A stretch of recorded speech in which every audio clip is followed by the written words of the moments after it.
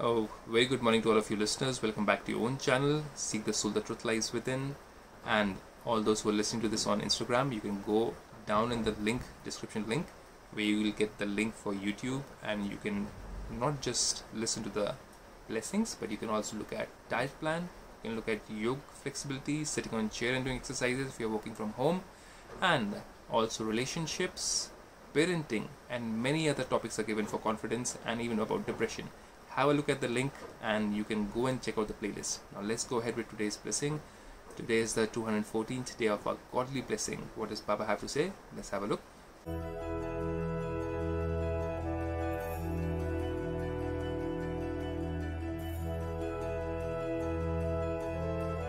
Baba says, May you be a charitable soul, and with the stage of a lighthouse, stop performing sinful actions. A lighthouse is a place from where the ships from far away can see that okay this is the place where I'm not supposed to steer my ship towards otherwise I'll be grounded.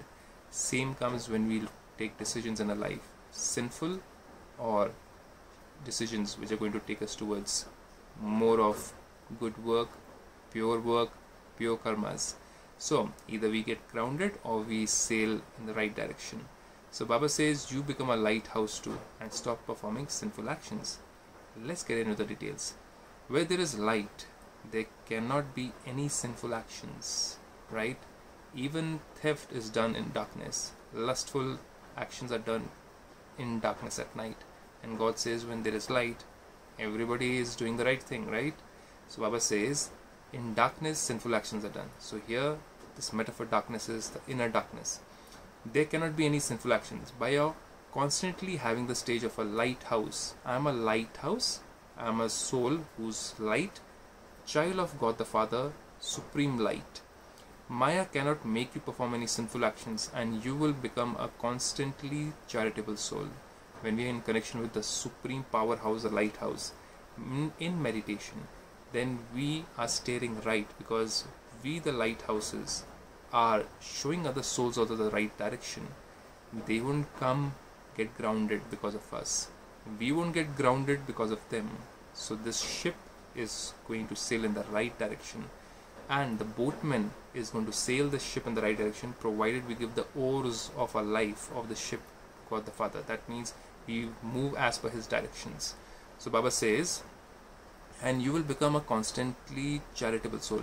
A charitable soul cannot perform any sinful actions even in his thoughts so God is talking about thoughts. We generally think of looking at actions of people and put them into categories of sinful souls or pious souls. But God says your thoughts are the seed of your sinful actions.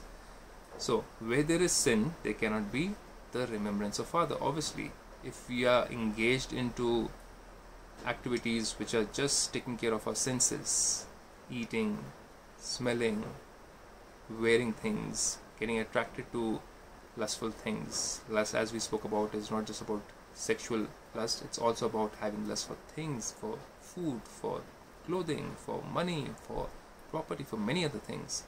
So baba says where there is sin there cannot be remembrance of father. Then we don't have time to remember father at that time. Have this determined thought. What? I am a charitable soul and sin cannot come in front of me. So this is one of the uh, self affirmations which God is giving us, the spiritual self affirmation that I am a charitable soul. You can think about this throughout the day and have an effect on your life. Whenever any self thought comes, you just talk to yourself, I am a charitable soul.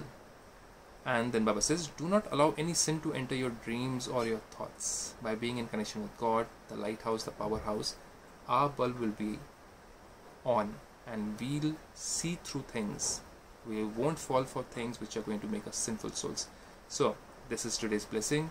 Have a blessed day and if you have any comments, any suggestions and if you like this blessing, if you want to share your experience, you can do so in the comment box and also share it with others.